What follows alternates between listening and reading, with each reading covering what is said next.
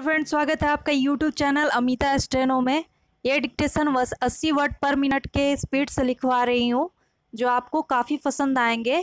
अगर आप कोई भी स्टेनो का गवर्नमेंट का तैयारी कर रहे हो गवर्नमेंट जॉब के लिए तो ये आपके लिए काफ़ी इम्पोर्ट महत्वपूर्ण साबित होगा।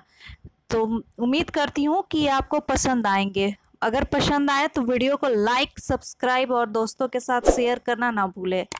तो थ्री तक काउंट करूँगी, उसके बाद मैं डिक्टेशन स्टार्ट करूँगी।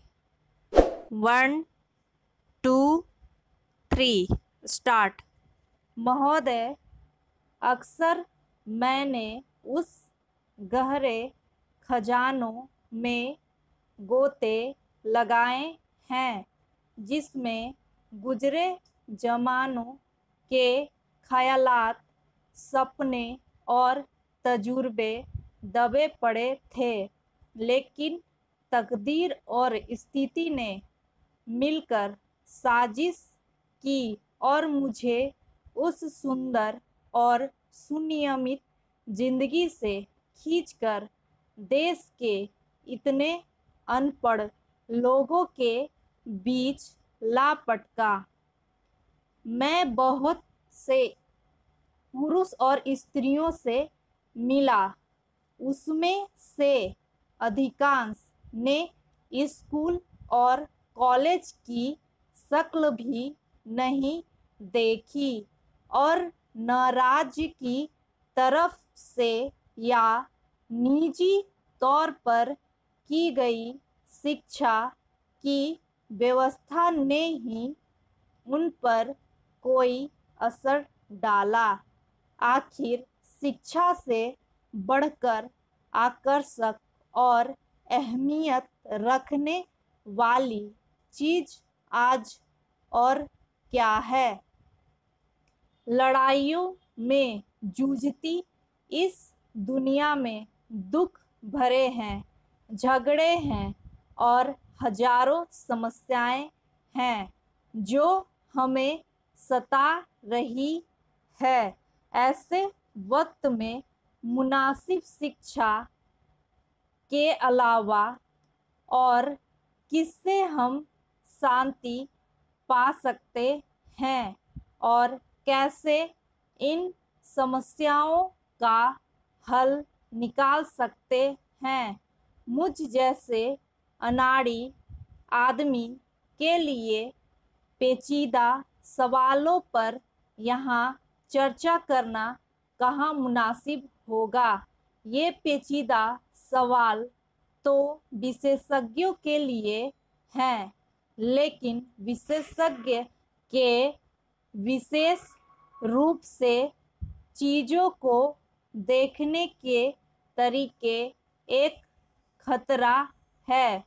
हो सकता है कि चीज़ों को देखने में उचित दृष्टिकोण उसका न रहे और सामूहिक रूप से वह ज़िंदगी को देखना भूल जाए। पैराग्राफ।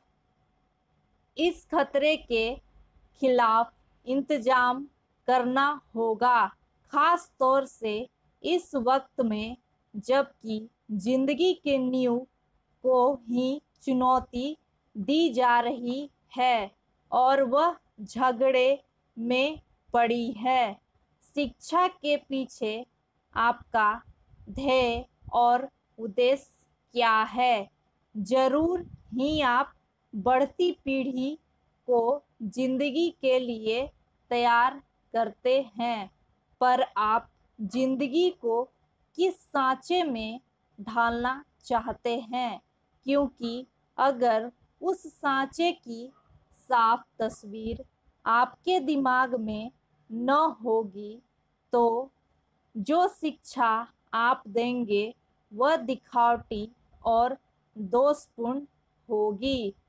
उद्देश्य भी उसमें कुछ न होगा और आपकी समस्याएँ और कठिनाइयाँ बढ़ती ही जाएगी। बहुत जमाने से शिक्षा का आदर्श आदमी की तरक्की करना रहा है। ज़रूरी तौर पर यही आदर्श रहना चाहिए, क्योंकि बिना आदमी की तरक्की के सामाजिक प्रगति नहीं हो सकती। लेकिन आज आदमी की वह चिंता भी जनसाधारण को सामने रखकर करनी चाहिए, नहीं तो शिक्षित आदमी, अशिक्षित जनसमूह में गर्क हो जाएँगे और किसी भी हालात में क्या यह मुनासिब है? तो फ्रेंड ये था अस्सी वर्ड पर मिनट के स्पीड से हिंदी डिक्टेशन उम्मीद करती हूँ कि आपको पसंद आए होंगे। अगर पसंद आए तो वीडियो को लाइक सब्सक्राइब और दोस्तों के साथ शेयर करना न भूलें। मिलती हूँ नेक्स्ट वीडियो में, तब